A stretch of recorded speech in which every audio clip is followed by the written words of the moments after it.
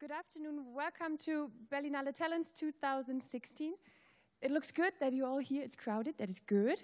Welcome to, in reference to visual essays, a session in cooperation with Fipresci and the Goethe Institute. And uh, we're very happy about this session and to have the kind of kings of the visual essays with us today, Kevin B. Lee and Kogonada, in, a, in an event and a session about quotation, remix, drawing homage or drawing references to film history, to film, to pop art, pop culture, and journalism. And without much further ado, I'd like to introduce you to the moderator of the session, Oliver Baumgarten, coordinator of Talent Press and program manager at the film festival Max Ophüls Preis. Please enjoy. Okay, thank you, Hella.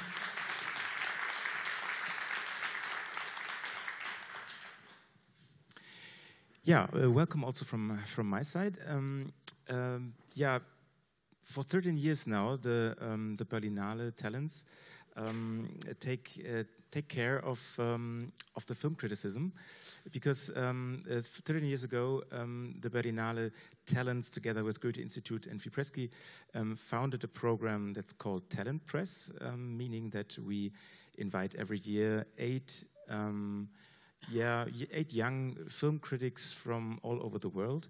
Um, some of them from this year's um, program are also here. Hello, Isabella.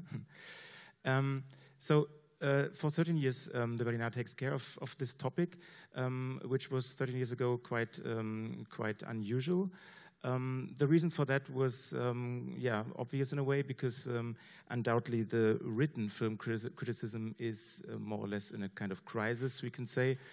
Um, there's not one week without any news about uh, um, yeah, another uh, colleague, another uh, film chief editor um, of a magazine or a newspaper um, gets sacked or um, had to to, um, uh, to, to find another another point, another job.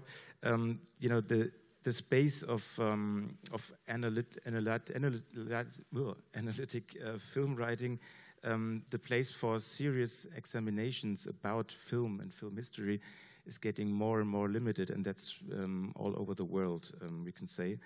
Um, instead of this worked out um, reflections on film, um, there comes more and more yeah, synopsis-centered uh, texts, service texts, let's say, and uh, together with yeah, kind of um, simple rating systems of films like thumb up, thumb down. So this is, um, yeah, this is what we um, today more and more get.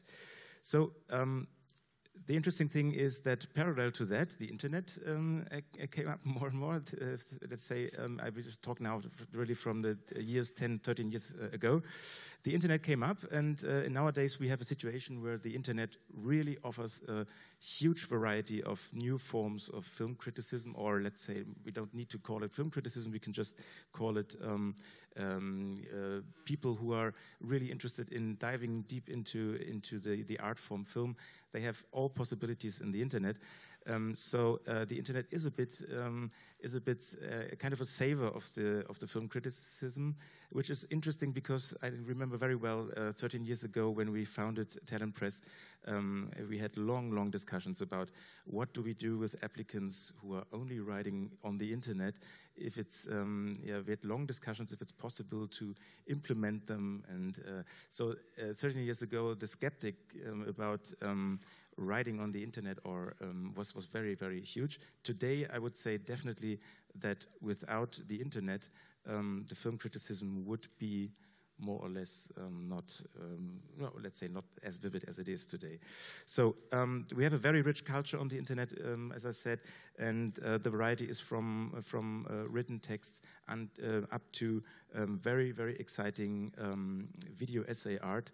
And uh, we are very proud that we really have here two of the um, greatest artists in this field. Um, we are very happy to have them here. And um, um, yeah, we have uh, Kogonada. Um, welcome. Kogonada is a Korean, Korean-born filmmaker and video essayist. Um, uh, you're a, a, regular contributor to the Criterion Collection, the famous Criterion Collection, and Sight and Sound, and some more. Uh, you were named one of Filmmaker Magazine's 25 New Faces of Independent Film recently. So welcome to be here, Kogonada.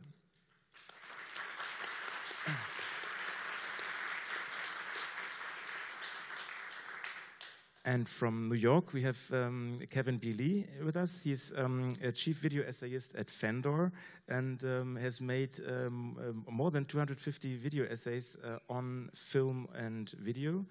Um, his film uh, Transformers, the pre-make, was named one of the best documentaries of 2014 by Sight and Sound magazine, which, is, which I found very great. that uh, a piece that is directly and especially made for the internet um, was voted for that. And um, yeah, Kevin is for the second time also mentor for the Talent Press. And um, I would yeah like to start with you with a with a yeah general question. You have written, also, first of all, you're, you're, a filmmaker, of course, because you also attended the Berlinale Talents um, in its early years, 2003, I guess, or four? 2004. 2004, as a filmmaker. But you're also um, a um, yeah, classical film critic, let's call it like that, because you you also write um, articles um, for um, outlets like um, like Sight and Sound and uh, New York Times, even Slate uh, magazine, IndieWire. So you're um, you're also a writer. Um, maybe you, can, can you tell us what brought you from working um, with words to working with images about film? Sure. Um, so, you know, it starts with a fascination with film, and I actually began as a filmmaker, and I came here in 2014 as a talent in the director category. Um, so that was my. Hmm?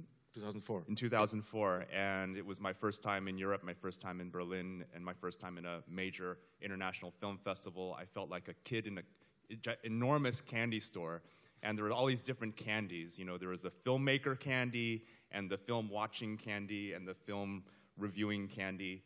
And um, it, as it turned out, I, even though I was in the director category, I ended up watching like 20 movies in one week and just um, you know, ex exposing myself to as many films as I could. So I think in actuality, you can say I was a film critic in disguise as a mm-hmm. film director. And after that, I just started writing more about film and, and um, getting published.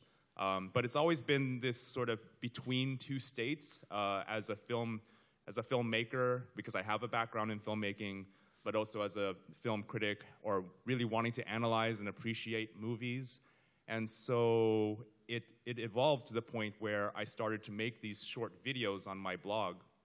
It wasn't enough just to write about a movie. Um, I really wanted to show what I was talking about, and I felt like words can only do so much to show someone what you're talking about. So I started taking clips, and this was really at a time like 2007 where a number of factors became possible to do this. First of all, you could rip DVDs um, with ripping technology. You can edit them on your computer, and then you could output them with your editing software and upload it to this brand new website called YouTube. That um, you know, so that so the whole system had just come into place that you could actually create your own videos using existing work and start to show and point out the things that you find interesting about a film. So this is around 2007. Um, yeah, and I, I still think writing is great. I mean, writing mm-hmm. is is fantastic. Um, it's one tool out of many, mm-hmm. and you know, I think it's important just to see these all as different tools that you can use to create insight, to and analyze, to kind of open people's eyes to an understanding of film and to the world. So it's a bit like, um, I mean, knowing your work, I know that you have strong, a strong position towards what you what you write about or what you watch. Um, so it uh, it's just another tool, really. That you um, that does it somehow change your argumentation, uh, working with really working with images. Actually, it's made me a better critic because. Uh, it used to be that you know you watch a movie, you go off your memories of the film, and then you write you know 300, 400 words based on your memories. But since I started doing the video essay work, I started to notice more concrete details, not just about plot or mm. a story or characters or acting, but details of how uh, a, an image is put together, the mm. frame, composition, cinematography, camera movement. When you're really paying attention to a film and, and trying to make a video that shows these things, uh, it really shifts your focus to those, those things that most people don't think about when they think about movies, but actually are the building blocks, the fundamental building blocks of cinema editing, cinematography, sound, all those invisible actors that are essential to a great film. Yeah. We will definitely come to this when we uh, see some, some excerpts. So uh, thanks for now. Um, Kogonada, what was your initiation to do um, those video essays?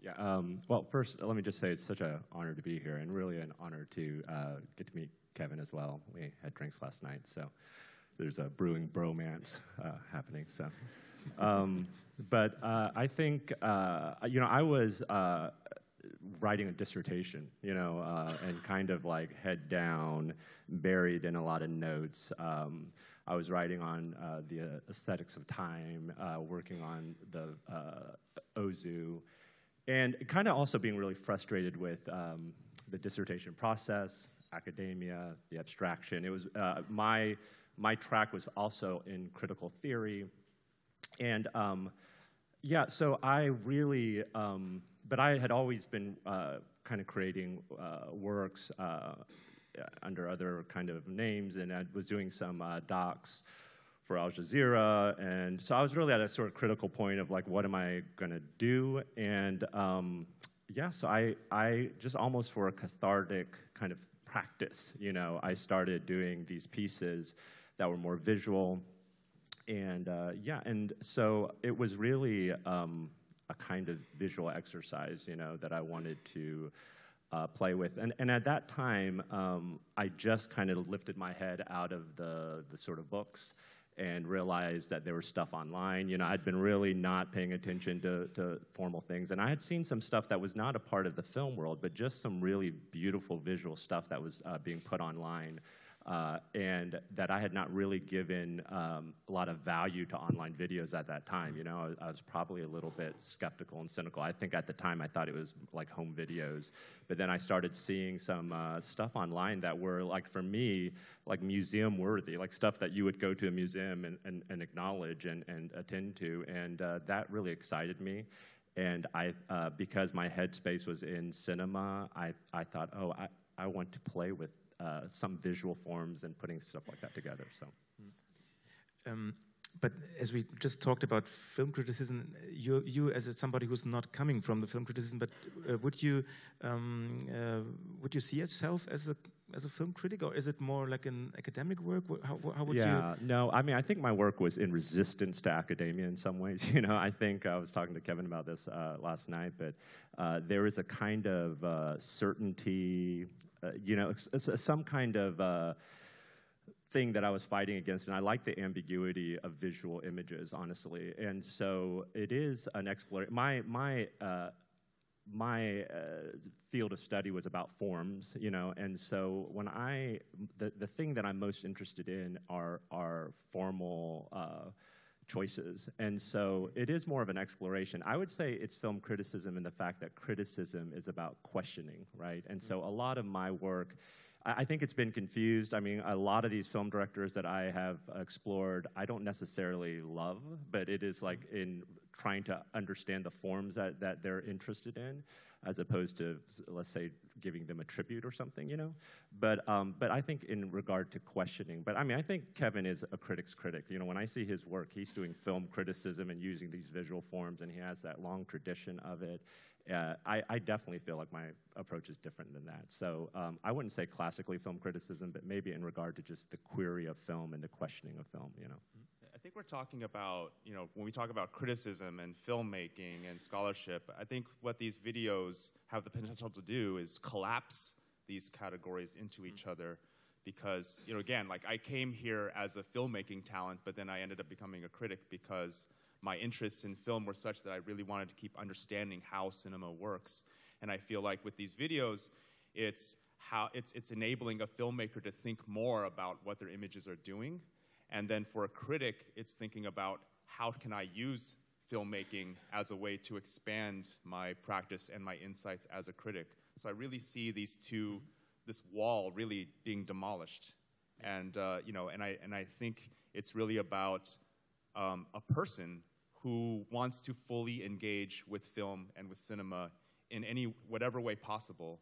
Mm-hmm. Whether you just want to watch a movie with uh, a more heightened sense of awareness and appreciation, or you want to make a movie with a greater sense of awareness also about what your images are doing. Mm. So it's really about just building all your film muscles, you know, and in every way possible. Yeah, yeah and, and, that's a great point. I mean, I think the appeal of it is that these categories, and uh, you know, again, academics can get really fixated on categories and defending boundaries, but there is something really beautiful, I think, about, uh, you know, the, the really wonderful thing is when I created this, I didn't think that it had to fit any sort of form. It was just, you know, you, you get to freely, and, and even to this day, I just finished a piece for Criterion on Godard, and um, I just, you know, that, that you can um, create something and there are really still no real definitive boundaries of what is and isn't, you know, what you're allowed or not allowed to do, you know.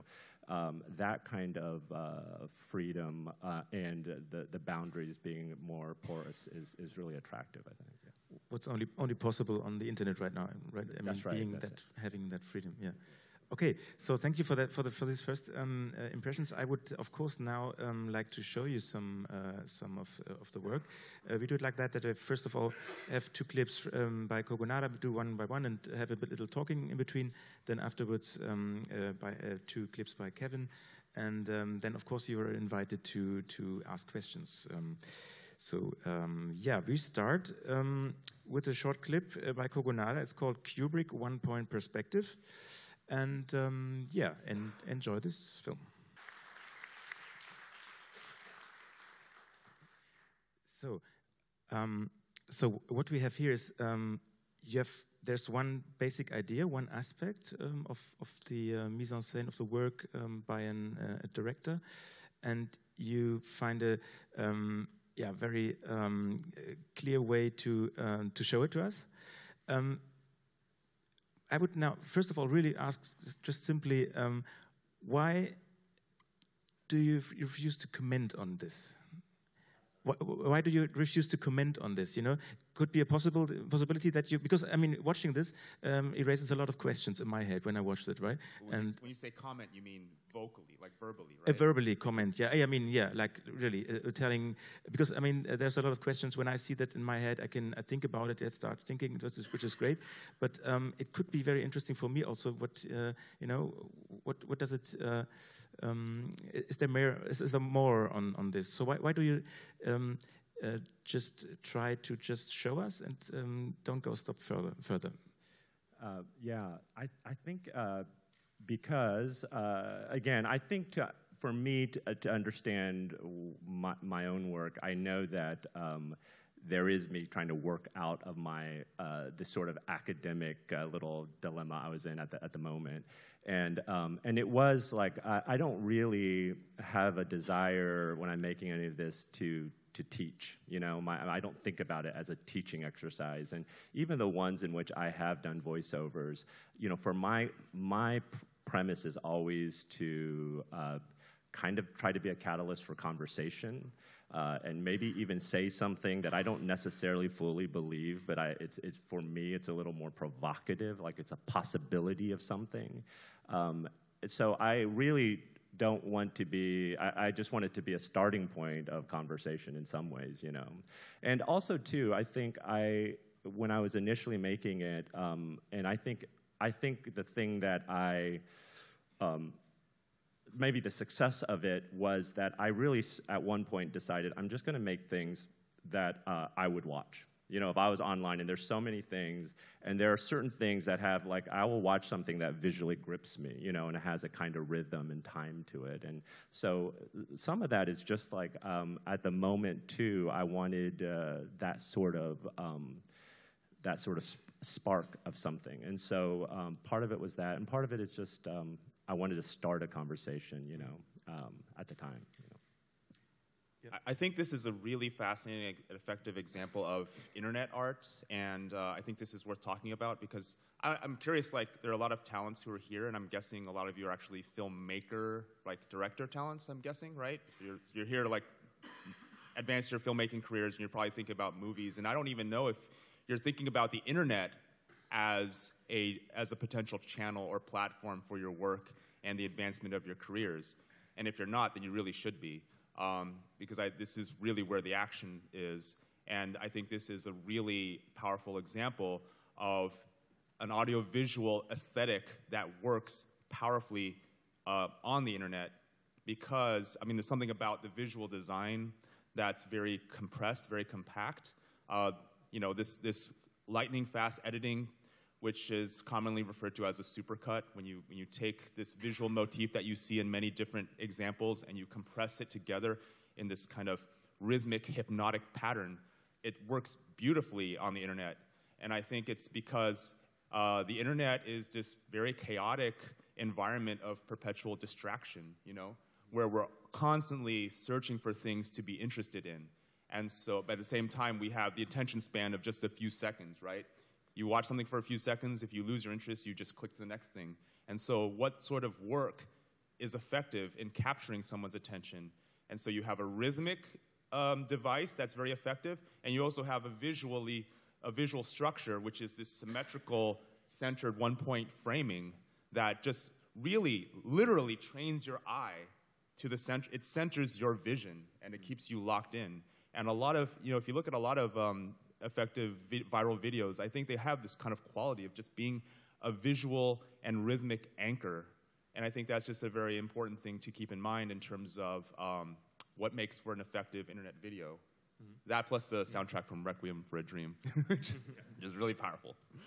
I, uh, uh there's a funny, um, you know, he contacted me not long after this came up, and he was just like, "Oh, I saw this; it was really great." And then he was like, um, "But why did you choose that song?" You know, I could tell that he was real disturbed by that, and uh, and it was so funny because uh, when I chose that song again, I was head buried, didn't wasn't watching online stuff, and I was like, uh, and I, the other thing that early on, I didn't want to use music from the filmmaker's work. In, in my own strange mind, I was thinking, I don't want people to think this is a tribute or anything. Of course, everyone did think it, you know, it was, but I had, and I had this other thing where I didn't necessarily want to put them in linear order. I mean, the, the my formal choices are very much about something other logic than just like collecting them. And like, I, there's plenty of one-point perspective shots that I didn't put in there and it was nonlinear, and I had other reasons and, and uh, for putting it together. But he had asked me that, and I, I when I uh, thought of the song for this, I thought, oh, you know, I thought about Requiem for a Dream. I was like, that's a great soundtrack. I'm going to put it on there and I had no idea that it was like, you know, used so much and, and all of that. And, and when he mentioned that, I, you know, Googled online and I saw, oh my God, you know, that, that track had been used for everything. But in defense of that uh, music, you know, like Mozart's used for everything. I mean, it's just, I think it's still a great piece of music. You know, it's, it's, it's dramatic. But I probably, if I knew, knew that it was used so much, maybe I would think about it. Maybe I, I don't know. Who knows? It worked. I mean, yeah, that's the bottom line is it worked. Absolutely, absolutely. And um, yeah, how do you um, come to these aspects that you choose? Uh, like now here, the one-point perspective. I mean, um, uh, surely uh, you have to to uh, to find all these scenes and these moments. You have to watch all the I mean all the, the films again, and then find those uh, find those um, scenes and those moments and collecting them. But um, could you maybe just tell us, uh, yeah, how this this this, this works go because then uh, you first this idea then you look for it and you collect it and then uh, think about the music and then edit on the music. Maybe just elaborate on that how you uh, yeah i mean i don't think i'm offering uh, you know really new insights to like kubrick. I mean i think a lot of people who've seen kubrick's film that you know they they recognize the symmetry of his uh, um, filmmaking. Uh, so, you know, my challenge is to present it uh, or in a way that that is attuning, you know, that is uh, that that may offer us another experience of that. So, that is something that, uh, and I, you know, at the time, I had a whole notebook full of little little essays that I might write once I get my, you know, once I stopped writing this dissertation. I was like, I have all these essays. I had like, you know, all this, and that was one of the things. I was like, mm-hmm. oh, there's a certain thing, and you know, buried in here is a, a kind of theory that if I was ever to elaborate, that that played with uh, this that little Stargate and all of this, and and this larger meta point that I think Kubrick, uh, you know, I think he didn't just choose it as a design element, but he had some larger idea behind it maybe one day I'll, I'll, you know, but, but at the time, you know, once I started making it, I just kind of looked at my notebook and I, I, had all these sort of patterns that I wanted to explore eventually, um, maybe in, in some way. And so, uh, so that was like, I, I knew that pattern existed in Kubrick. I knew I wanted to say something about it. So yeah, I, then I just went through and yeah. started collecting it. Yeah. Okay, okay. Good. Maybe we um, we see another one and um, and uh, keep talking afterwards uh, because um, uh, I have another, chosen another one. It's uh, Wes Anderson uh, um, centered. It's called centered, and yeah, please roll it. I think uh, the term for this kind of video is supercut. Is that true? Um, I think that's what what they call it, right? Supercut. Um, the way of uh, of compilate um, related images. Yeah. Um, I know that you that you a, a, bit answered this already, but still, I, I just try to answer um, um, ask it uh, on, from another perspective. Um, is it the, the purpose of, let's say, the um, yeah, who you are really doing it for? Because I mean, it, it's for me, it is a kind of a mixture, really, of of, of educational and didactic things, of entertaining, uh, of um, uh, also, yeah, the critical approach. Um, is it, um, yeah? What, what is the purpose that you have for yourself in um, expressing like that? Yeah, uh, you know, I think it is uh, yeah, there's a, you know, I think the internet makes it possible to create these, like, there would be no place for something like this, you know, 10, 15 years ago. And I see other visual little pieces that are really, uh, that stay with me. Now, at the end of the year, when I think of the films or visual experiences that stay with me, some of them are these little pieces online that I never would have had you know, unless again some uh, museum curated it, I would never have seen. You know, so uh, some of it is a possibility, but I think in this case, um, it was, uh, you know, I was doing a piece uh, for Criterion, and uh, it was gonna, uh, it was on Wes Anderson, and I noted while I was doing it, everyone knows that Wes Anderson like centers, and he again loves symmetry. But uh, I was really like the exactness of the cent- the centeredness. You know, a lot of people say, "Oh, so and so is centered," but if you drew a line, you know, down the middle, they would be a little bit off centered, but our eyes would register that as centered. With, uh, um, with Wes Anderson, I kept on looking at it. I was like, this isn't just centered, this is precisely centered. So I started kind of looking at it and I was like, wow, this is literally on the nose. Like everything he's centering is on the nose. So um, at the time, I told Criterion, I was like, "Hey, I'm working on this, but I have this other thing." You, you, and you know, at the time they weren't interested. So I just, I was like, "Well, I got to do this because it's, you know, to me it was so interesting at how precise it was. But I will say that I have these longer. This last year, a lot of my stuff was offline uh, on their discs, and those pieces are like 10, 15 minutes long. I, they're, they're me talking and, and really doing maybe more what, what would be like film criticism. But you know, sometimes you know I, I, like to use food analogies, but sometimes you just want to make an appetizer. You know, you want to make a two-minute, one-minute, and to me, I don't I don't imagine this to be a substantial meal at all. You know, I think it's, but I think it's like an appetizer to think about a filmmaker and the choices they're making. You know. I mean, the thing is, these these videos are taking a very prominent role when it comes to film education. Um, I've I've heard from many many film scholars from around the world who use videos like this uh, as a teaching tool, as a way of introducing concepts like you know framing, symmetry, camera work, um, production design. These very like these things that would be very boring to read in a textbook about mm-hmm. cinema. You you know you pop it in. The teacher like pops in this two-minute video, goes outside, smokes a cigarette, and when they come back in, the students are like, "Wow, that was amazing!" And so it's it's like a teacher's new best friend. Um, so, and the other point that comes to my mind while watching this um, and the Kubrick one is really um, is there a certain kind of filmmaker that whose work and whose visual style is very suitable and thrives in the age of the internet? Um, you know, when when uh, you have to think about, you know, what what kind of filmmaker, what kind of film is easily made into a viral video? you know, and it has to have a certain kind of visual signature, a certain visual style. And so, for again, for the aspiring directors and filmmakers and cinematographers out there, you know, how do you create images that go viral in this way? If if you care about such things, I mean, that, that could be a very superficial uh, ambition, but it's ambition nonetheless, uh, because this is this is a sort of understanding and engagement of cinema that is very popular, where we have this emerging culture of people who want to take movies and do their own things with them. Uh, and so, you know, when you, when you take the entire body of Wes Anderson's work and you transform it into a video like this, you know, and it, and it really defines very specifically a, a quality about Wes Anderson's uh, films. So, like, how, how would you want your body of work to be appropriated or to be taken by someone else and transformed into something else? Because this, I mean, this video is not just about Wes Anderson. It's also about Kogonada's ability to take images and add a very distinct way of looking that is his way of looking. You know, those lines, like not everyone would think to do that. And it's, it's very much like drawing. You're literally drawing on the image. And I think that's very interesting. It, these, aren't, these aren't just tribute videos. They are a starting point towards a, a more transformational relationship between us and the movies that we love, where it's not just, I'm just going to sit back and watch this movie.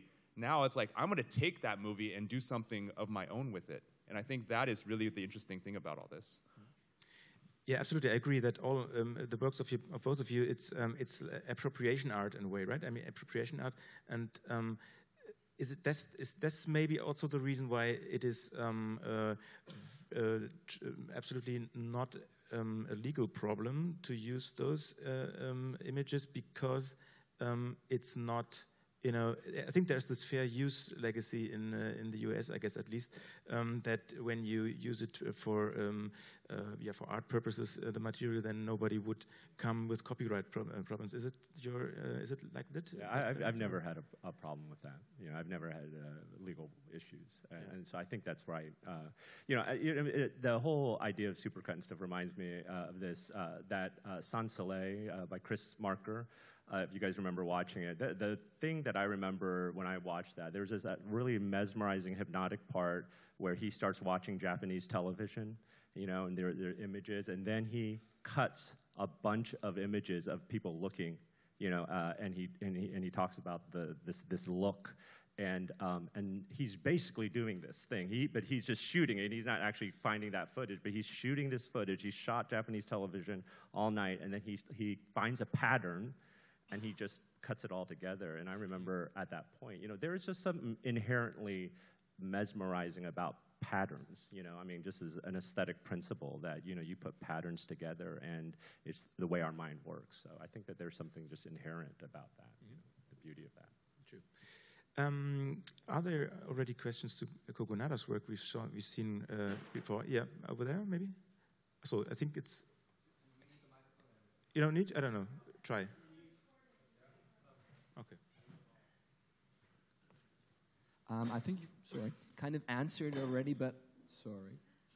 Um, for the uh, Wes Anderson centered, centered um, because it was uh, actually the very center of the nose. Did you cheat with some of the uh, frames by pushing it a little bit there or pulling it, or is it really straight from the rip? The yeah, that's every that's straight. And in fact, you know that where the paper falls, you know, and then it falls centered. I, I'm sure that was he didn't like you know train that paper to fall, but uh, I threw that in there because I was like, wow, that paper fell right in the center. So uh, yeah, so it was it was pretty amazing when I you know looked at the the centering of it. Now I, I should say that some of those you know moved uh, after, you know, like, like, soon after. So I found the frame that was the most, you know, that, that centered. So yeah, yeah. But you didn't touch any of the frames to kind of make it more centered? No, no, no. Right. Yeah, yeah. And, and the um, Requiem for a Dream, did you have to pay for the music royalties for that no, at all? Or? No, no. All right. No. Thank you. but is this recorded? Uh, no, yeah. I might. Have Yeah, yeah, maybe. Thank you. Is there another question? So, yeah, there and. Um, hello. I want to know what, um, uh, besides the aesthetical uh, uh, appointment or uh, uh, point of view. Uh, what else do you have to say about that? I mean, wh- what is your behind that? What is your your um, uh, yeah? What, what, what do you want to say about it? Okay. I th- I, well, I, I want to say, you know, I think the dream of everybody here probably is, uh, and, and certainly mine, when I was doing this little research and, you know, I, you know what I really wanted, because I, I, uh, I believe in cinema. I mean, it might sound really naive and whatever, but I am like this sort of desperate existentialist, you know, person who's like, what's the meaning of this, you know? And in cinema, I have found a real profound, like, uh, not the answer, but answers that I'm constantly trying to pursue.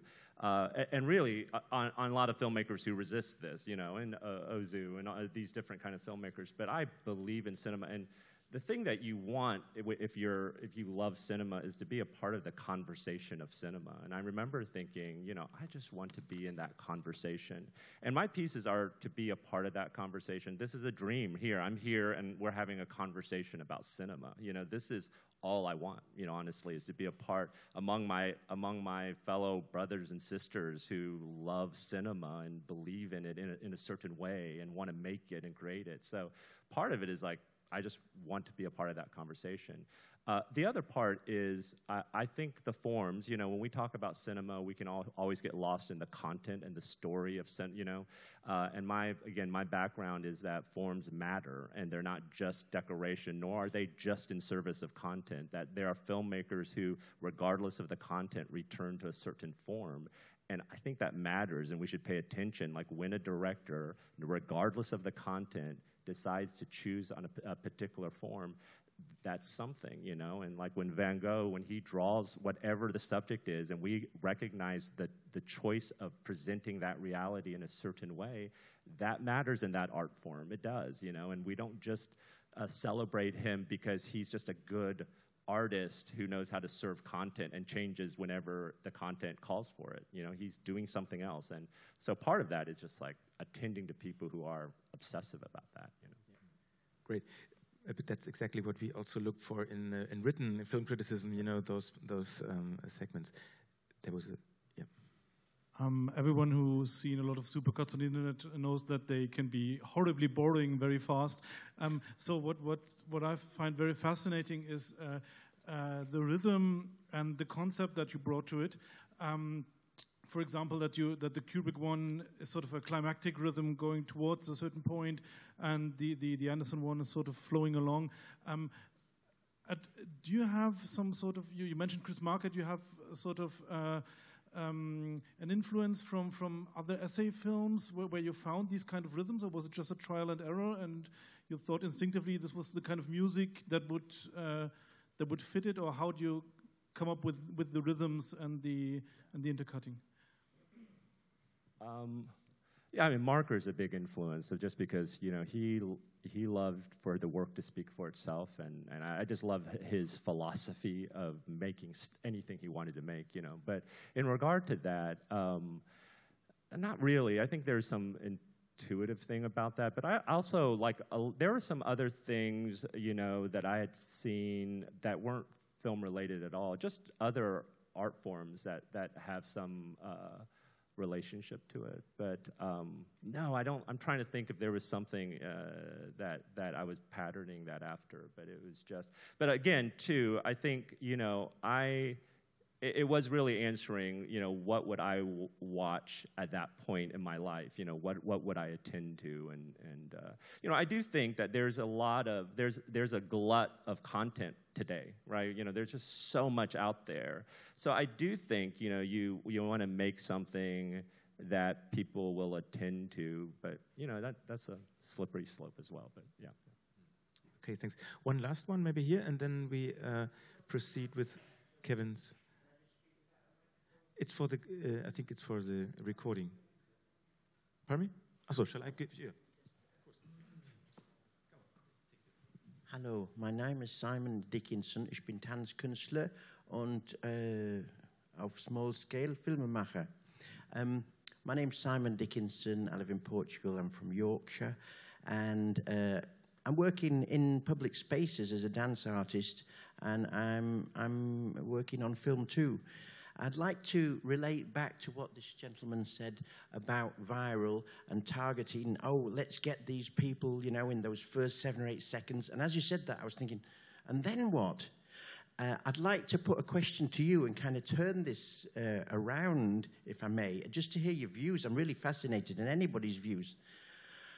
Have you ever stood at a bus stop or on one side of a road, and on the other side of the road, there's someone, there's someone standing there? Maybe it's a woman waiting for a bus, could be a man.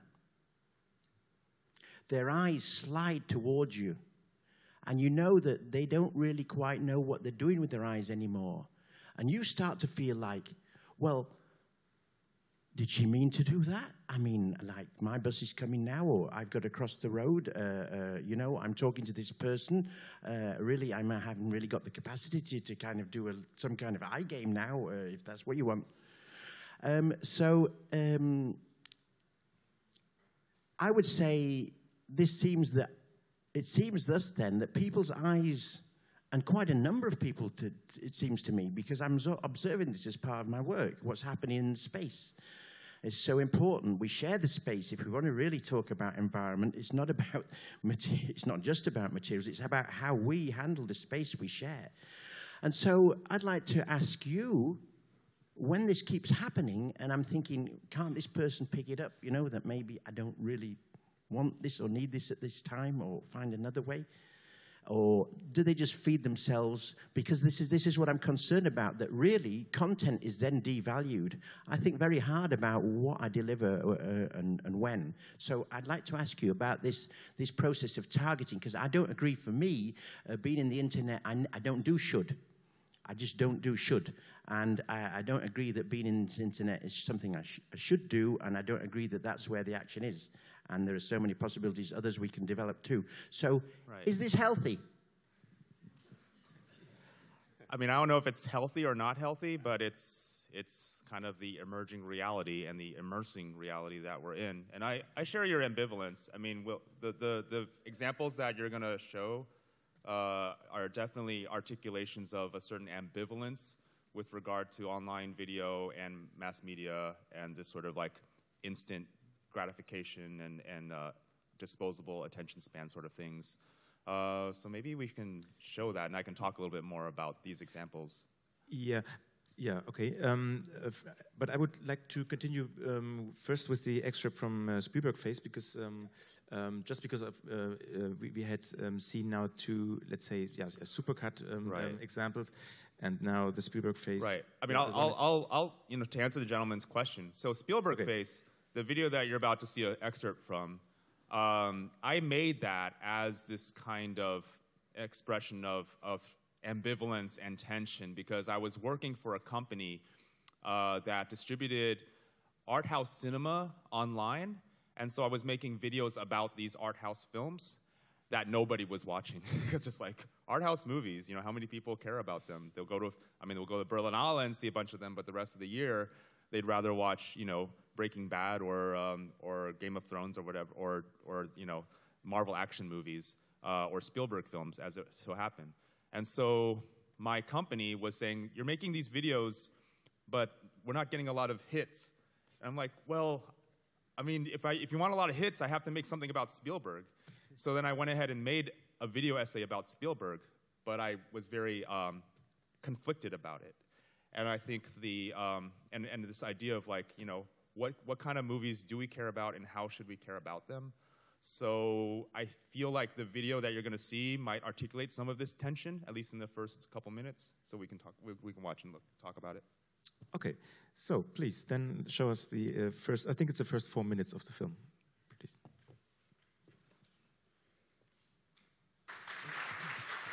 So so just to continue the story that I set up, so I made this video in December of 2011 as sort of a desperate bid to basically keep my job because it was kind of like, okay, you're not getting enough hits for our website. You got to do something about this. So I published this I published this video in the morning in my office, and then in lunch I was uh, taken I was invited by one of the executives of the company to have lunch, And at the lunch, I was informed that my services were no longer needed. So I was like, go that day because, yeah, we're not seeing the traffic, we're not seeing enough to justify uh, your job. So thank you. Uh, so I basically came back from the worst lunch I ever had to the office, and there was this weird buzz in the office. It's like, what's going on? The traffic of our website is exploding. It's like hundreds of thousands of hits. What's going on? Oh, it must be the Spielberg video. And so I guess the silver lining is that they they retained my services as a freelancer. Uh, so I wasn't complete. I wasn't completely fired. Um, but yeah, I mean, I, am very kind of cynical about these sort of things in terms of um, what works for an audience and how to make it work for an audience and how do you engage thought, uh, you know, in, in, addition to just making something that's cool and attractive. Uh, my brother, who always gives me a hard time about these things, is like, yeah, okay, your video got like 500,000 views, but if you had just shut up and not said anything, it would have had a million views. and I think he might be right. I mean, because once, yeah, they actually have the clicking things. Like some people are like, who is this annoying voice? Why is he saying, that, you know, can we just shut up and let me enjoy the, the supercut? Um, but I feel like in my, in my, in my case, I feel like the, um, the narration is important, or it was important to me to create this critical awareness, you know, to introduce that concept of manipulation, audience manipulation, Spielberg using this face to manipulate your response in order to create a, um, a more critical uh, position for the viewer. Mm. This is something I really care about. Is it's not just about being, and maybe this is something that, um, yeah, I'm just, I'm just, uh, I think I'm just more of a cynical, non-true believer. Like I don't totally believe in cinema. I've, I've spent, you know, 30 years watching like thousands of movies, and I don't think my life is really that much better for it. So I, am very, I'm very, um, you know, skeptical about this idea of cinema being this salvation, or at least finding a way to engage with that critically, uh, to retain a, a, critical awareness, a thought uh, that can engage with the film critically. Yeah. Can I, I, think, you know, Kevin, we were talking about this, but, you know, he, again, I think is like this sort of critic's critic, and he, he has to make what he has to make, and I, and I think that's why he is uh, really acclaimed. I think he is, you know, he can't resist, uh, you know, doing the work of a critic, and, and I, I really admire that. And, and I, I think that the question of pursue, I mean, I would disagree with him in regard to say, oh, you should pursue this thing that is popular at the moment, because as we know, that, that whatever that is is always changing. And I, um, like the, you know terms like viral and branding and all of that kind of stuff you know it's it's it's very hard you know i understand and even supercut you know i have i i always have resistance to these sort of terms that that exist and are are applied but i understand it that completely. But man i think if you pursue you're trying to pursue the thing that is viral or popular which a lot of people do and try to figure out whatever that formula is i'm sure you can crack it occasionally but i just think it like my worst things that are, you know, not, are, are, are times that I try to make something. Uh, I was just saying, you know, I had gotten invited to Sundance uh, to uh, submit a screenplay uh, a while back, and I, instead of writing what I wanted to write, I thought, what would Sundance want? And I, I wrote the shittiest screenplay I probably could ever write, you know, because I don't even know what that is, you know. And I think the minute you ask that question, you produce really bad work because you, you don't own it. And uh, you know, my, my stuff has hit, you know, and, and, and whatever, but it was a surprise. I was, not, I was not making it because I thought, how can I figure out how to get the most people to watch it? You know, I wanted to make something that to me felt beautiful formally, honestly. Um, and that happens to register really well, you know, in that, that audience. But uh, I do think if you pursue that, you know, as film, I mean, we see that all the time in, in films, you know, people who are trying to crack that and, and not make good cinema. And, and so I, you know. The most popular video I've ever made that has the most hits is called Anatomy of a Sex Scene. So that pretty much answers the question as far as how to make a viral video. Content is everything. Yeah. Can I say one more thing about this issue, though, of, of bored? You know, my, I, I'm raising two kids, uh, and they're allowed to swear, but they're not allowed to use the word boredom. You know, I'm bored. You know, that's like the F word in our house. You know, uh, because I, you know, uh, you know, these things that we we showed, they were my probably my fastest editing thing. My the films that I love, you know, again, I I like uh, to me. Uh, Ozu is like I've seen all of his films many times, and I'm, I'm obsessed with that uh, because I think, and I, I disagree. You know, uh, I, I, was writing a paper on this notion of attention span disappearing. I don't think uh, the issue is attention. You know, I, I had a professor who, who used to always talk about that, and then he was telling me that his son was playing a video game, and he tried to play it, and he could only play it for five minutes, and he got completely like he was like, I can't even, you know, attend to it. And we would never accuse the professor of having a short attention span because he could only stand that for five minutes. But he accused his son of having a short attention span because he couldn't read a book for five minutes. Mm-hmm. And, but that, that same kid could play that video game that the professor couldn't play for five hours. Yeah. And the reason why is we're, we're bookish people, we're biased towards the book. And so the, the issue isn't attention for me, it's interest. And that is a crisis. I think uh, my kids, I don't want them to be disinterested in everyday life. And when they become, it's not that they can't pay attention to it, they just don't. Uh, they're not interested in it. And to me, like boredom is an excuse. To, uh, it gives you a crutch. And what you're really saying is, I'm not interested in things that I probably should be interested in, you know, like everyday life, like time passing, like a slow film like I don't think they can't pay attention. I just don't think they're interested in it, and that to me is more of a crisis than anything. So.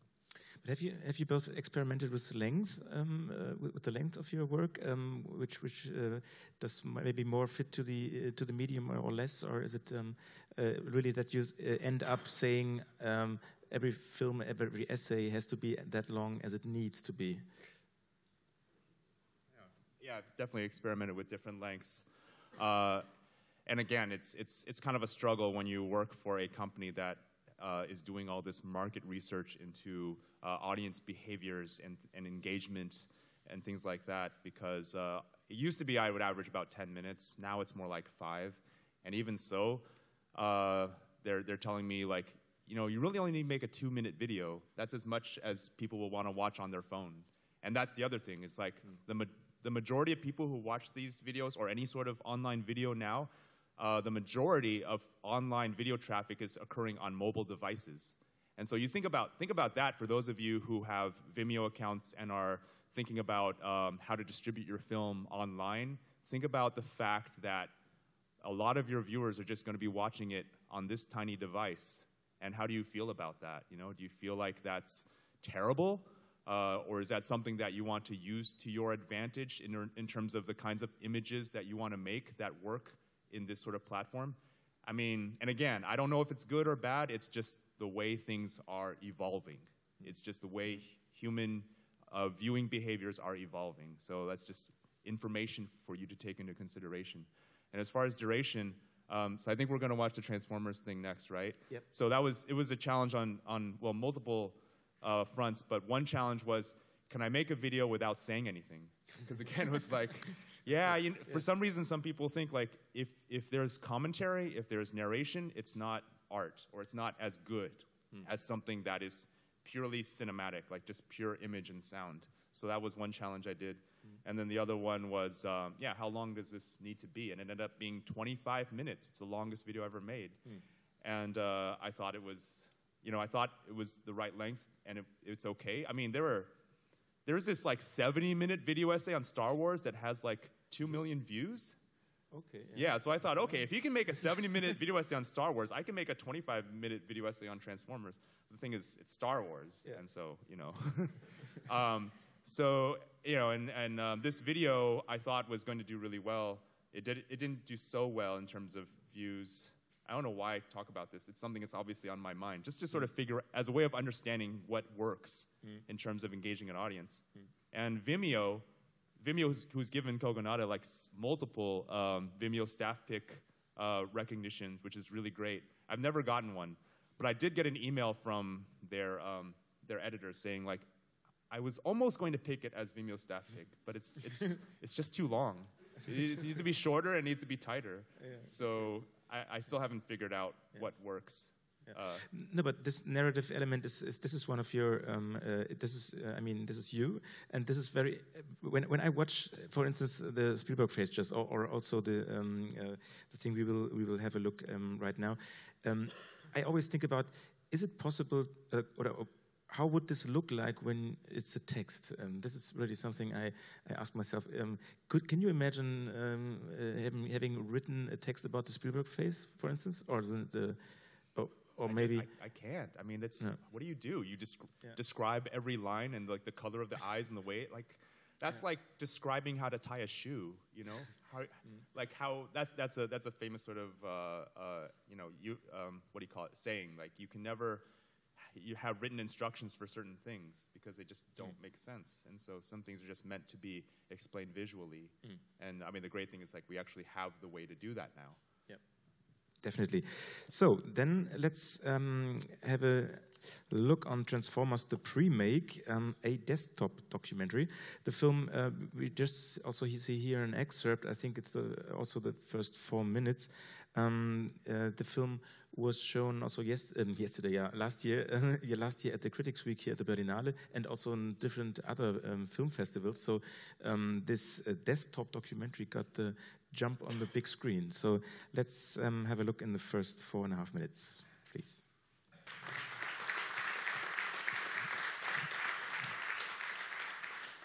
So this is um, more or less a found footage study of um, um, yeah of Hollywood creating um, pre-hypes or hypes before the film even uh, comes. Maybe first of all, how did you find this this amazing uh, formal way of uh, desktop documentary? How you call that? I mean, this is um, yeah. Well, it's not all found footage. I mean, this this was the, the another thing I wanted to set before myself as a new thing with this project. I wanted to actually start making my own images and not just use found footage.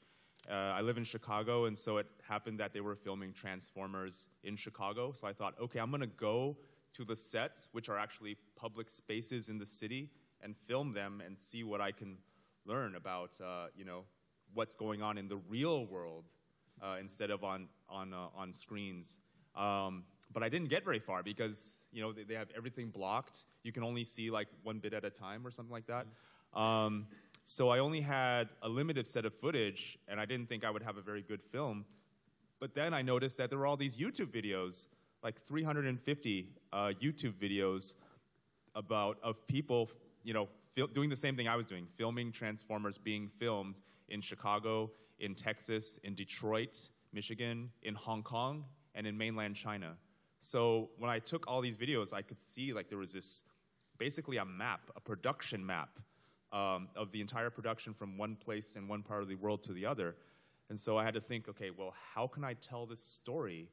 Uh, and so I was just kind of moving things around on my computer, uh, trying to figure out how one video clip relates to another, uh, using maps, going on websites, doing research. And then I kind of realized, like, this whole story is actually taking place on my computer screen, which is really ironic because the original motivation was to get away from my computer and to be in the real world and film some, you know, film some things in the real world. But it just goes to show when you can only do so much in the real world. The internet is this amazing resource of uh, material and information. So it's just a matter of how to create a relationship, you know, to go with the theme of uh, Berlinale Talents, how to create a relationship between the real world and the media world, the virtual world. And so that was really kind of the, the driving force bet- between, behind the, the making of this. Um, I mean, this is really um, a, a multi-layered uh, film in the end, with so many topics um, uh, come, showing up there. Um, uh, uh, yeah, is, is it um, maybe? Maybe I just also want to know first um, how uh, is it kind of a um, software that you uh, that you zoom in and zoom out, and is it uh, where, where is it Yeah, it's a um, combination of screen recording, recording the, the desktop screen.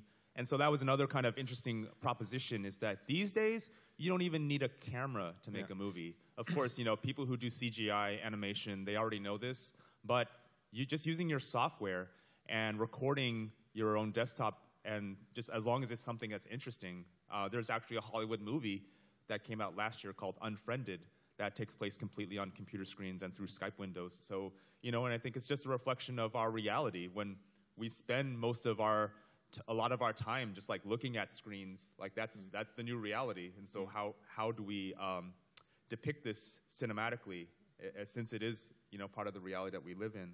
Um, the other thing i want to talk about as relates to criticism you know, in this last part of this, uh, the clip that we just watched, it gets into things about fan labor and how, you know, making, just, just taking a video of something and then putting it online becomes, in a weird way, a commercial. Like if you're filming Transformers being shot and you put it online, then you're helping to promote it. And, I, and for me, this is related to questions I have about video essays um, and relation to criticism because, um, yeah, my works, Kogonada's work, a lot of these video essays end up becoming commercials for movies. And um, I guess the question I always have for myself is, is it just that? Am I just doing another kind of promotion? You know, of course, I, I love certain movies, and so I want people to care about them, but is that the role of the critic is to be another kind of promoter or, uh, you know, uh, an, an enli- uh, quote unquote enlightened promoter? Or is there a way to actually ask questions about the industry itself, not just a movie, but about movies in general and how we value them and how they're a business and, uh, you know, and all these sort of industrial and political and economic factors that go into why we watch what we watch.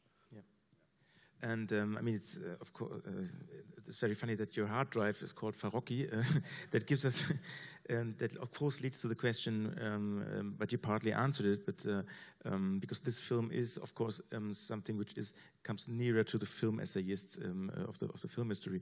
But maybe also the question also then afterwards to you, Kogonada, where you see yourself in the re relation to those huge film essayists like Farocki or yeah, I mean not not initially because this was this purely just sort of came in its own, and it wasn't until uh, a couple of years later, uh, actually Michael Baute, who's here in the audience, um, you know, I met him in Berlinale in 2009, and it turned out that we both love video essays, and he was making this amazing program here in Berlin called uh, Kunst der, Vermittlung, which is uh, a, a, program about essayistic filmmaking or uh, pedagogical film, films that comment on films Mm-hmm. And uh, it was just an amazing kind of like who's who, like Godard, Marker, Farocki, uh, Alain Bergala. And so that really opened my eyes. It wasn't, it wasn't just this internet generation mm-hmm. that's been doing it. It's actually been done for generations before. Always this way of making films that are studying films. Um, so I think it's important to understand that there is this tradition or this, uh, this legacy that's, that's, that goes well before YouTube. I would agree. Uh, Chris Marker is a huge influence, and uh, Godard. You know, uh, I've had a you know on and off relationship with my engagement with him, but I mean, he is.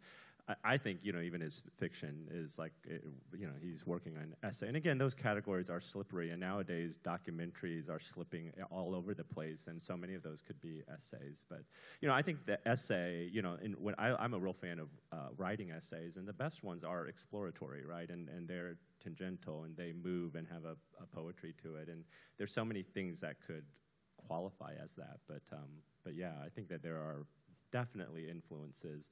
Uh, and, and, when I'm doing larger pieces, I mean, uh, those are like probably my shortest pieces, but when I'm doing longer, larger pieces, uh, I, I, do think about them significantly differently. You know, I mean, I'm, there's some other thing that I'm, I'm trying to work on there, but uh, yeah, yeah. But the shorter pieces are, are, I don't, I don't think that they would be essays, but again, I don't, I'm not into the business of defining it, but I don't think they would be essays at all. So. Okay, I would, um, I would like to open up uh, again for, for your questions. Um, maybe? Hello. Part of my question is already answered, but what I keep on wondering about is how do you look at yourself in terms of the gapping in the bridge between commercialism and being an artist? When it comes to copyright issues, I do wonder do you make a living of this? Do you earn money with that? I can only understand it this way in terms of being, in a way, advertising it as a commercial that you don't get sued from a filming company or how do you deal with that? I do wonder. Well, okay, I work for a company called Fandor that that um, yeah compensates me for most of my video essays. Uh, in order to make a living, I have to make one every week, so okay. that's already like a very uh, exhaustive practice. Um, and they pretty much give me a certain degree of protection because most of, most of the videos I make are about films that they distribute because it's like a it's sort of like a Netflix type company for independent art house uh, festival films, and so they have the distribution rights to most of to these films, and so I usually make something about it. And yeah, you're right, it is like a commercial. I mean, that's I think that's the idea is to make people interested.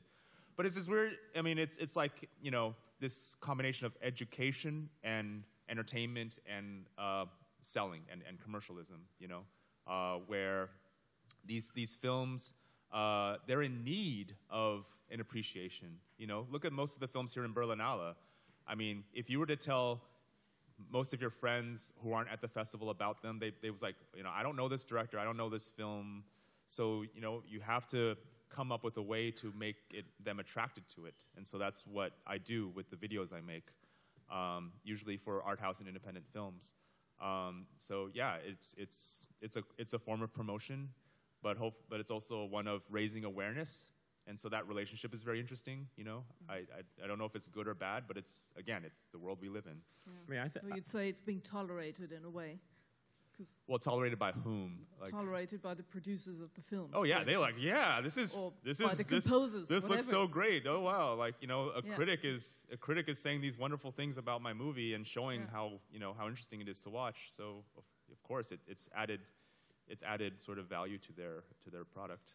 Yeah, I mean, I, I don't think it's any different than the role of the film critic, uh, and they've always had to bridge that that relationship with the commercial. If a film critic loves a film, they're promoting that film. I mean, they're not you know being paid to do it, but you know, you do like if you think people ought to watch a film or a filmmaker, there's that element to it. I wouldn't call it commercial. I don't think either of us have gotten paid by a studio or anyone to promote their films. You know, the, these these two pieces were the pieces that I didn't get paid for. They ended up being the popular ones, but no one paid me for those two pieces. But um, but my you know Criterion has they they have paid me, uh, and they have a really you know Criterion is this uh, label that I've adored forever, and so it was a real dream to work with them, and they only. Uh, solidified why I admired them so much because they gave me no restriction. They give me, you know, and they and they don't even make me just discuss their films. You know, they just like they uh, wanted me to have space to work, and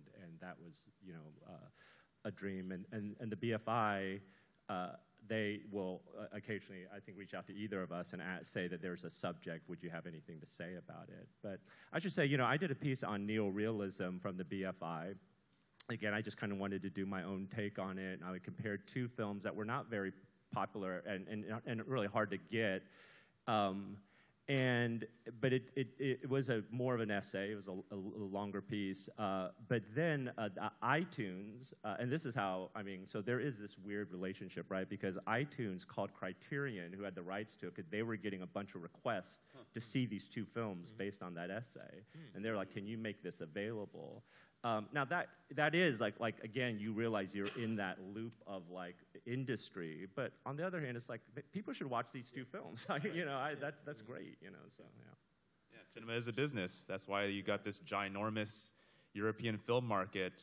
You know that I kind of avoid as much as possible because I don't want to think about it, but you have to think about it. Film, film is a business. Yep. Right. Um, yeah, maybe down here, and then Daniel, and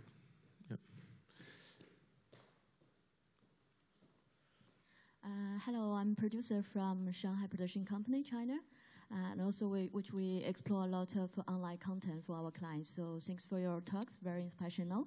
So my question is, uh, um, uh, before you mentioned like your passion is coming from like you want to explore more, understand understand more of the forms, and uh, uh, to think about more about what the image could doing. So could you explain, uh, sharing more understanding or thoughts or about the value, your understanding the value of the images, which motivated you into current career?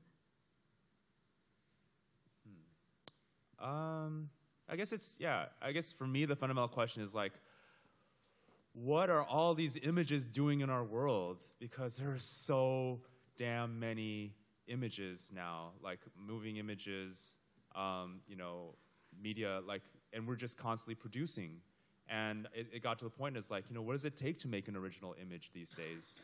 You know, I mean, there's so many of you here who are learning, you know, how to advance your careers as filmmakers in the film industry. And it's always this question of like, what's, what's, what's it going to take for your work to stand out among the hundreds, if not thousands, if not tens of thousands of things that, you know, people could be watching? It's really this, and it keeps growing because, you know, in addition to all the new images, there's the archive of existing images.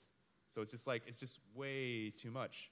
Uh, so I, I, I'm at the point, and having seen you know thousands of movies over my life, I'm at the point of asking these underlying questions of image culture, not just a movie, but sort of like how does how does watching one movie connect to all these questions of you know politics, economics, aesthetics that uh, you know make that film possible. Uh, I, I, feel like, yeah, I feel like uh, just just reviewing a film isn't enough anymore for me because it's you just end up you know saying the same things like oh this movie is good, this movie's not good, but it's just like what what brought this movie into the world to begin with? When you ask that kind of question, you start to dig much deeper into like the underlying forces that you know are behind our creative energy. And I think that's really fascinating. Uh, you know, I think uh, form. I, you know, before he passed away, I don't know if any of you guys know Neil Postman, but uh, he was a cultural critic and dealt with medium. He was a mentor of mine and, and had a, a real influence. But my conversation with him was always about uh, uh, the role of aesthetics because he was very sort of deterministic in some ways and the way aesthetics can disrupt even certain kind of mediums and forms. And so I do think like my like the the aesthetic choices that filmmakers that that, that exist and attending to the possibility you know, for me, uh, forms and even this moment is about possibility. And it is this privilege that we have to both uh, play with this medium of time and even remixing uh, temporalities that did, have existed. And we're just sort of beginning, and, and, and, it, and it has existed for a long time. And just, you know, that search is not, has not ended. We're certainly not the last word. And, and you know, there are a whole new generation of people who are,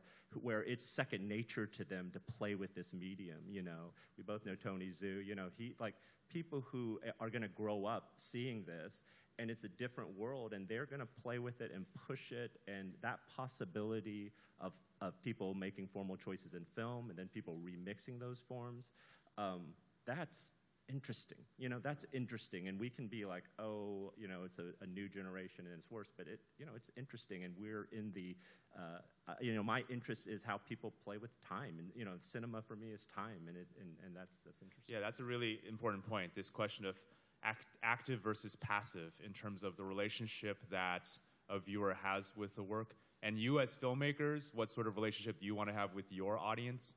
Do you want to just present something that you know they receive passively and they you know they kind of accept, or is it going to spark some sort of activity on their part, whether they go out and do something in the world, you know, having been inspired by the work you make, or you know they want to do something with your work. They take your work and they start doing something of it of their own.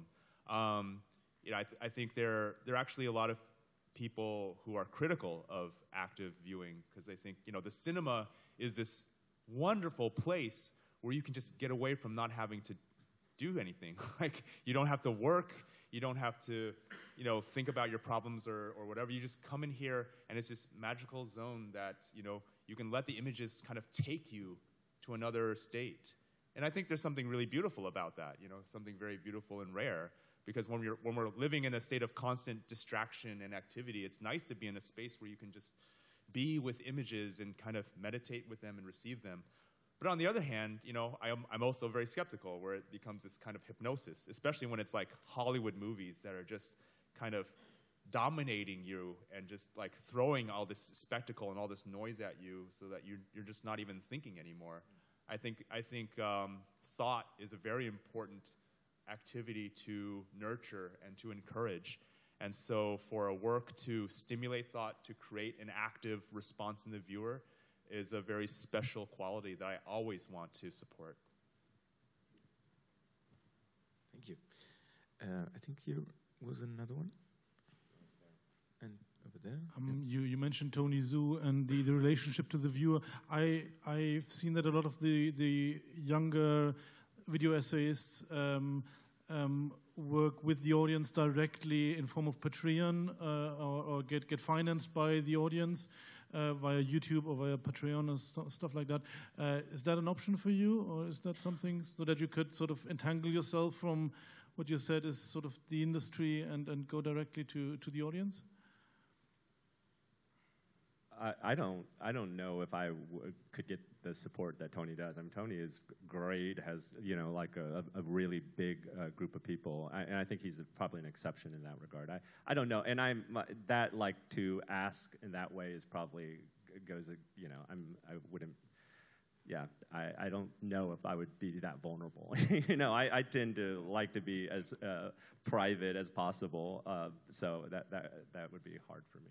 Yeah, you don't realize how lucky you are to be seeing yeah. in the flesh. no. Like, there are no photos of him on the internet. no one knows his real name. Who is he? Everyone get on the internet and find out. You'll, you'll get a free pass to next year's Berlinale if you can uncover the mystery. Sure. Um, yeah, I, I you know, I, I think Tony Zhou, who's a really phenomenal, like he really should be here as, a, as another guest, but he's, uh, he's really great at, at having been able to decode uh, on another level just how these video essays work as an internet phenomenon. Like he really engages his audience. He does something that neither of us do, which is like he says, "Hey everybody, I'm Tony," you know, which is like it seems like the simplest thing, but actually it just changes the whole relationship and it kind of like you know, extend, extends his arms to his audience, and his audience just really loves it. It's just like he's just talking with his audience. And I'm still of this, you know, my the Spielberg face is this kind of like mysterious, you know, figure like speaking from behind a podium. Like I'm still, it still sounds like a teacher giving a lecture, and I just can't get away from that because I'm old school. But you know, I, I would love to learn how to say, "Hey, everybody, I'm Kevin," and we're gonna. But it just doesn't feel natural to me. Like I'm just too old to do that. That felt so. pretty good. I'll, I'll, practice it. Yeah. Uh, yeah, over there, there's uh, another question. Yeah, hi. Um, I was thinking about the piece you wrote, I think, for BFI on uh, video essays, the form as a whole, and uh, you end up uh, talking about the potential maybe going forward, what video essays could do on film and TV. And um, maybe this is reading into it, but it seems like you're saying you have the opportunity to re-examine cin- cinema's um, place in the world right now, and maybe it's also expressing a form of discontent with the way things are right now. Is that true? Sure, or just yeah, critical awareness, uh, resistance. You know, kind of always wondering, okay, what is what is this movie doing? What you know, what are movies doing? Pure, you know, as a whole, uh, and it's again not taking things for granted creating a more active and stimulated uh, position for, for everyone, for all viewers. And I think it's not just because we're all, you know, audience members, but we're also all making images now, whether we know it or not. I mean, how many of you have an Instagram account? How many of you post things on Facebook?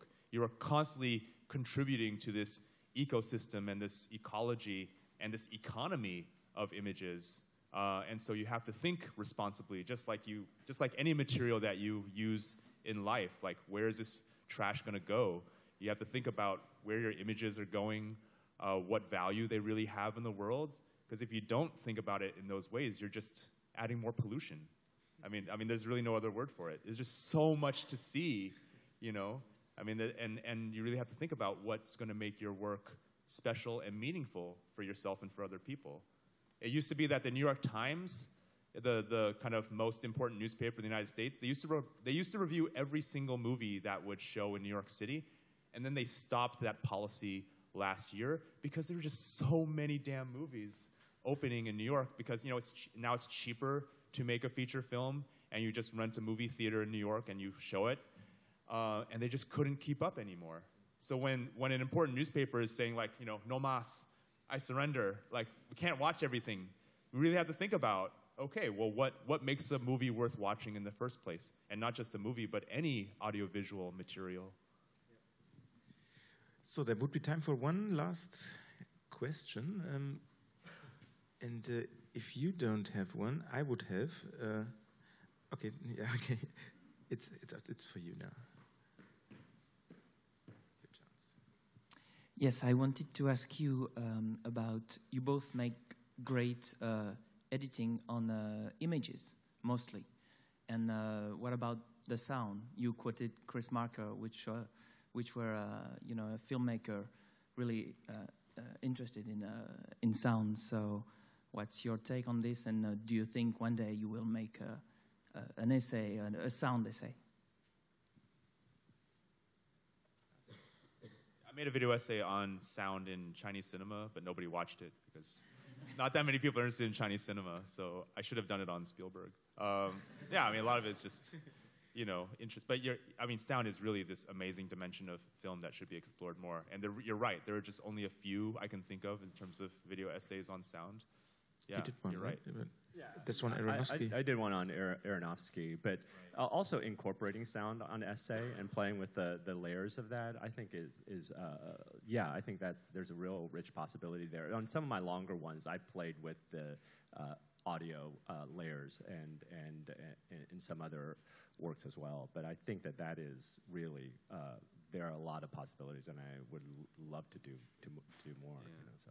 I mean, I think I'm sorry. This Godard piece that I just put out last week, uh, which is a, uh, there. There's some uh, audio play there. I mean, I'm I'm playing uh, with different audio from his different films and playing it over images that so they don't necessarily uh, sync up with the, the images. So, um, if you haven't seen it, you should check it out. It's out on Criterion right now. I mean, you, your question actually makes me think of this larger question of topics because yeah there's definitely this I, to my mind there's an imbalance in terms of what the topics of visual essays are.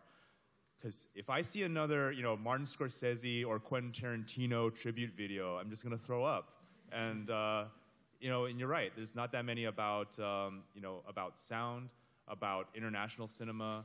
You know there should be more video essays about latin american cinema african cinema east asian cinema uh, about you know certain roles of, of certain film, you know, uh, not, just, not just directors and actors, way too much auteur theory. You know, it's not, it's not auteur theory that makes movies. It's all kinds of people and all kinds of talents that make movies. And so there needs to be more awareness of those things.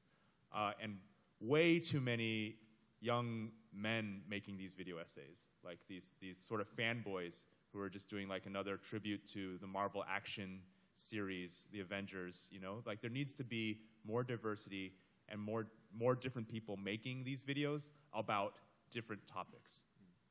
But not way too many Asians, right? That's so weird.